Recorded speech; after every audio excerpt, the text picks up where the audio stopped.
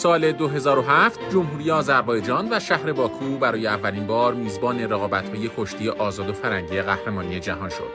با حضور مدعیان قدرتمند در هر وزن، مسابقاتی سخت قابل پیش بینی بود و کشتی ایران هم گام در مسابقاتی گذاشت که به سختی اون کاملا واقف بود.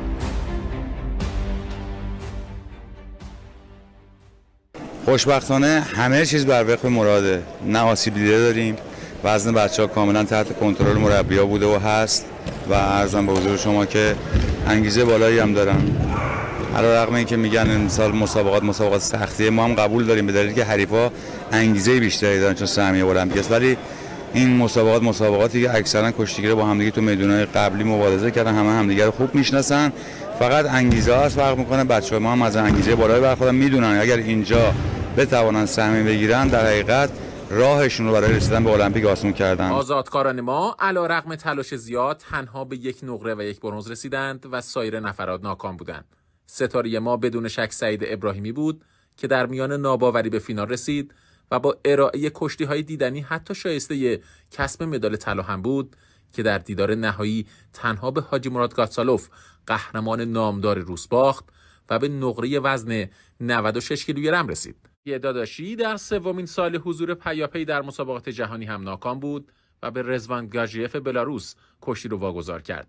مراد محمدی قهرمان جهان که از امیدهای اصلی ما بود به سختی سر وزن رسید و با شکست مقابل مراد رمزانوف از مقدونیه ناکامی تلخ رو تجربه کرد و بعد از اون 2007 که حالا شرایط خیلی خوبی نشد اتفاق نیفتاد تو آذربایجان که من حس می‌کنم که 2007 سالی بود که من باید مدال بهتری می‌گرفتم. قرعم هم خیلی خوب بود. اما خب یه سری اتفاقات یه سری اشتباهات خودم بود که نتونستم مدال بگیرم و اومدیم سال 2008 رضا یزدانی هم که پس از برنز سال قبل سخت در تعقیب مدال طلا بود به روسی دیگر باخت و با توقف مقابل گیورگی کتویف به برنز بسنده کرد و قهرمانی جهان باز هم به تعویق افتاد. و در نهایت فردین معصومی به آرتور تایمازوف ازبک باخت و به سکو نرسید. سقوط کشتی ایران تا رده هفتم جهان. اولین تجربه سرمربیگری علیرضا حیدری تجربه شیرین نبود. کشتی فرنگی حمید سوریان به حکمرانی خودش در کشتی دنیا ادامه داد و با کسب سومین مدال طلای پی در پی رفته رفته در مسیر نوابغ کشتی دنیا پا میگذاشت.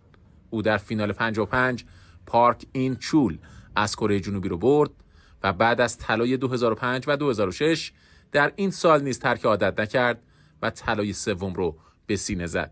یک بار دیگه حمید سوریان که دو سال پی در پی در کشتی فرنگی قهرمان جهان شده و یه رکورد هست در کشتی فرنگی برای سوریان. واقعا تلاش می‌کنه تا اینکه بتونه فنون خودش رو به اجرا بذاره. حمید سوریان یه کنده کش زبردست و قهاره که اگر بتونه بله نمی‌گیره سوریان هم نمی‌گیره بله. اینجا اختار رو دادم بله یک اختار یک اختار به دومنده قرمز و دو امتیاز بله یک امتیاز. داور اصلا یک امتیاز تابلانی دو امتیاز درسته و دو امتیاز ثبت میشه حالا. دو امتیاز رو میدن. یک بار دیگه میره برای اجرای فن کنده فرنگی. این بار بلند میشه کشتیگیر تیز و تند کره و حالا حمید سوریان سه بر صفر از حریف خودش پیش میفته دو تا سی ثانیه از هم نتونن امتیاز بگیرن. میره برای کنده فرنگی بالا میاره کنده فرنگی اینجا اگر به تو کار یه از از پا استفاده کرد. از پا استفاده کرد. بله. یک اختار. درسته. یک اختار به دومنده قرمز دو امتیاز فنی برای حمید سوریان. صد در صد درسته. پا رو درگیر کرد که سه امتیازی نشه. یا پنج امتیازی نشه و تموم نشه کار. تو دیگه کنش بالا باز هم قبل از تو در سوریان باید بگیره وگرنه این بار به اختار میدن. تذکر رو دادم بهش. باید مواظب باشه. دیگه باید بلافاصله بگیره. دو امتیاز هم پیش هست. نیازی نداره. حالا. اینجا گرفت. بله این دار گرفت. بالا میاره کنده فرنگی رو. یه کنده کش قهار و زبردست. سه امتیاز سه امتیاز. سه امتیاز تمام. به نام خدا عرض سلام دارم خدمت شما همچنین همه بینندگان عزیز. خب همونطور که فهمیدن جناب من دیروز 6 دور کشتی گرفتم. فکر می‌کنم سختترین کشتی من کشتی فینال بود که با کشتی کره گرفتم. چون کشتی قبلی ما همه در دو تایم موفق شدم حریفامو شکست دادم برای کشتی فینال هم حساس شد. دو تایم اول به این کشتی واگذار کردم. خدا رو شکر می‌کنم که تونستم همه کشتیام با موفقیت پشت سر بذارم. دور اول با کشتیگیری از کشور استرالیا کشتی گرفتم. دور دوم با کشتیگیر دانمارک. دور سوم با کشتی امریکا, امریکا کشتی گرفتم. در دور چهارم با کشتیگیری از رومانی, کشتی گرفتم دور پنجم با کشتیگیر سربستان کشتی فینال هم با کشتیگیر کره جنوبی در کشتی فرنگی حمید سوریان به حکمرانی خودش در کشتی دنیا ادامه داد و با کسب سومین مدال طلای پی در پی رفته رفته در مسیر نوابغ کشتی دنیا پا میگذاشت. او در فینال 55 پارک این چول از کره جنوبی رو برد و بعد از طلای 2005 و 2006 در این سال نیز ترک عادت نکرد و طلای سوم رو به سینه زد. حسن تحماسبی در 66 با باخت مقابل هوانسیان از ارمنستان از دور مسابقات کنار رفت و علی اصغر بزری نایب قهرمان جهان هم مثل سال گذشته قبراق و سرحال نبود و با شکست مقابل حریفی از امریکا نهم شد. علی اشکانی، علی محمدی، مهدی محمدی و مسعود هاشمزاده سایر نفرات ما بودند که به ترتیب در اوزن 60, 66, 74 و 120 کیلوگرم توفیقی نداشتند و بیمدال موندند. آمان تحماسبی و قاسم رضایی به ترتیب در 84 و 96 کیلوگرم برنز گرفتند تا عملکرد کشتی فرنگی ایران نسبتا مطلوب باشه. تیم ایران در جایگاه چهارم قرار گرفت و رضا سیمخواه به عنوان سرمربی تیم عمل کردی خوب داشت.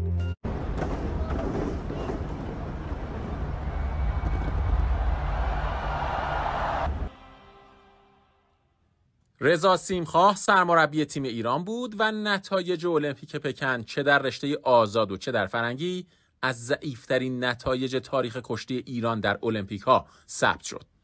سعید ابراهیمی در 96 دهم شد و فردین معصومی عملکرد قابل قبولتری داشت و هر چند به مدال نرسید ولی با کسب عنوان پنجمی تا حدودی نمره قبولی گرفت. در کشتی آزاد و با هدایت محمود معزی پور تیم کشتی آزاد ایران تنها یک مدال گرفت. سید مراد محمدی قهرمان جهان در 60 کیلو که سال قبل در جهانی باکو ناکام بود. این بار با عزمی جزم برای کسب مدال به پکن رفت که در نهایت آبروی کشتی ایران شد و با برونز مشترکی که با یوموتو ژاپنی به دست آورد به نوعی آبروداری کرد. چرا که در سایر اوزان نمایندگان ما با عملکردی ضعیف و دور از انتظار همه را از خودشون ناامید کردند. سوزی داور وسط کار آغاز میشه. مراد محمدی دلاوری از خطه مازندران. کار آغاز می‌کنه. قهرمان جهان شده در سال 2006 در گوانگجوی چین. در همین کشور امیدوارم که چین برای خوشیان باشه و بتونه یک مدال برنز دیگه از این آوردگاه کسب کنه در المپیک که واقعا مدال المپیک دیگه جایگاهش فرق می‌کنه با مدال های جهانی. حالا میره سراغ پای عقب. خم مخالف پا رو می‌گیره. اینجا یه خم تبدیل می‌کنه به دو خم. امتیاز رو باید بدن. بله امتیاز رو میدن به بله دو امتیاز رو برای در نظر می‌گیرن درست است. آقای ششی اغل دو امتیاز رو داد و بازی هم تایید کرد و دو بر صفر. این تایم را پیروز میشه. مراد محمدی. وقت دوم. مبارزه دوم با سوت داور وسط آقای شش اغلو. داور ترک آغاز میشه. امیدوار هستیم که مراد بتونه این کشتی رو هم پیروز بشه. در سرشاخ کار دنبال می‌کنه. کار کردن دست ها حالا یک قوس از سلیم خان حسینوف. حالا برای زیرگیری اقدام می‌کنه. مراد محمدی یه زیرگیری زیبا و تکنیکی با یه هم میره خاک کنه ببین پای چپش بسیار قرص است. اونجا که کلینچ رو گرفت پای راست رو گرفت. حالا رفته رفته میره تو اینکه سلیم خان خاک کنه. همچنان امتیاز رو حالا میدم برای مراد محمدی. بله یک بر سه پیش میفته مراد محمدی از جمهوری اسلامی ایران. به دنبال زیر هست و همچنان اینجا دو کشتی در توش خارج میشن و بله یک امتیاز دیگه هم برای مراد محمدی در نظر می‌گیرن. و کشتی سه بر صفر میشه. یک بار دیگه برای اقدام می‌کنه سلیم خان تلاش زیادی حالا 15 ثانیه با مدال برنز فاصله داره مراد محمدی و اولین مدال برای کشورمون برمغان بیاره. همچنان شمارش معکوس رو میشمارن. اینجا موفق میشه خاک کنه. در بیرون تشک. مراد رو واقعا کار کرد. خسته کرد مراد رو. اما یک امتیاز اصلا نمی‌تونه تاثیر در پیروزیش داشته باشه. پنج ثانیه دیگه. مراد محمدی مدال برنز رو از آن خودش می‌کنه. همچنان کار می‌کنه. برای دیگه اقدام می‌کنه. مراد تا این چند ثانیه به اتمام برسه دو یک و تمام میشه. بله تمام میشه و مراد محمدی موفق میشه. مدال برنز رو کسب کنه و میاد نزد آقای دنگ سرکی. مربی که از نوجوانی این کشتیگی رو پرورش داده به دنگ سرکی عزیز. به همه مازندران به هموطنانمون تبریک میگیم. مدال برنز مراد محمدی رو اولین مدال رو کسب می‌کنه. 2008 من خب برای سهمیه رفتیم سوئیس به اتفاق عباس دباغی مهدی تقوی و اسقر بعضی که ما هر چهار نفر همونجا سهمیه گرفتیم که اونجا یادمه مایک رو فوردم تو گزینشی به کوینتانا باختم. بعد آمدم سوم پنجمی که اونجا نفر اول تا سوم سهمیه که تو مسابقه سوم پنجم کشتی ژاپن رو شکست دادم و سهمیه گرفتم. بعد اومدیم برای المپیک.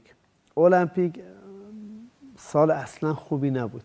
یعنی که معمولا کشتی چون رشته های آخره و اینکه اکثر رشته ها تکلیفشون مشخص میشه. متاسفانه اونجا مثل برگ خزون بود که ورزشکار ایرانی می‌رفتن و اینکه کشتی ها رو واگذار می‌کردن مسابقات رو واگذار می‌کردن. و اینکه قاسم رضایی باختنی همه این نفراتی که ما فکر می‌کردیم که می‌تونن نتیجه بگیرن متاسفانه کشتی رو باختن. تکواندو نتیجه نگرفته اون تا اون بر از زمان وزن برداری همینطور جدو همینطور دو میدانی همینطور. و اکثر رشته ها یه حجمه فشاری که مردم که آقا المپیک خراب کردن همه هیچ کس نمی‌تونه مدال بگیره. و اینکه ما اولین میدون المپیک بود اون فشار استل من شب تا صبح من عباس دباغی تو خوابگاه تا صبح نخوابیدیم. من اگه تو این مسابقات مقابل زادیک اگه یه تاکتیک خوب داشتم یعنی که یه برنامه‌ریزی خوب می‌کردم می‌تونستم این کشتیگیر شکست بدم. اما خب متاسفانه برنامه ای نداشتم برای کشتی کشتی. باری کشتیگیر و اینکه اگه برنامه ای داشتم و الان معتقدم هر کشتیگیری به شاگردای خودم میگم هر کشتیگیری واقعا به خصوص تو میدونای خاص باید برای خودش برنامه داشته باشه. بدون برنامه نمیشه کاری کرد. با تو کشتیگیر باهوش روسیه بود و روسا همیشه اونو به عنوان باهوشترین کشتیگیر می‌شناسن. و اینکه عنواندارم بود قهرمان المپیک بود. حس می‌کنم که من بیشتر به روش مبارزه خودم باختم. البته اون خیلی خوب بود. من می‌تونستم اونجا شکستش بدم. می‌تونستم از تواناییم استفاده بکنم و اینکه کشتی بهتری بگیرم. اما خب اونجا کشتی بعدی هم آنچنان نگرفتم. کشتی دو تا یک صفر واگذار کردم و رفتیم مسابقه سوم پنجمی که البته اول من فکر می‌کردم که با کوینتانو کشتی بگیرم.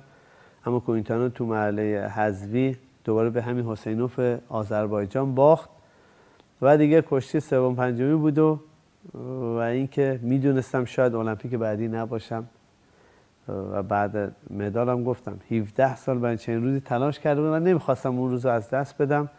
که خوشبختانه شرایط کشتی به نفع خودم شد. که این چند ولی به نام خودم افتاد که تونستم خاکش کنم.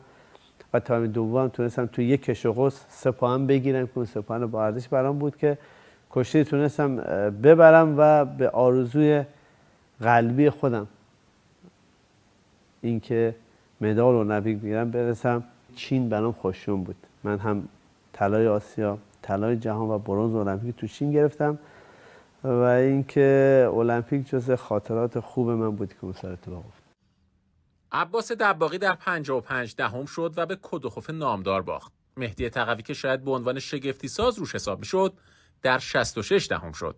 میسم مصطفی جوکار در 74 به ترزیف بلغار باخت و نهایتا به مکان 19 هم بسنده کرد.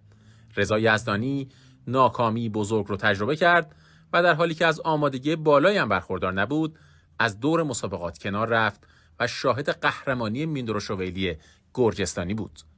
تمام امید و نگاه جامعه ورزش به حمید سوریان بود. قهرمان سه دوره جهان و امید اصلی وزن اول برای کسب مدال طلا.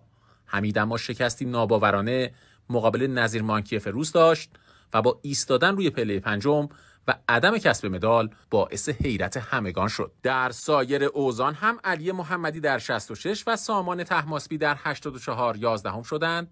قاسم رضایی و مسعود هاشمزاده هم در اوزان 96 و 120 کیلوگرم با عملکردی ناامید کننده به ترتیب در جایگاه 16 و 15 ایستادند تا کشتی فرنگی ایران با دستان کاملا خالی از پکن برگرده.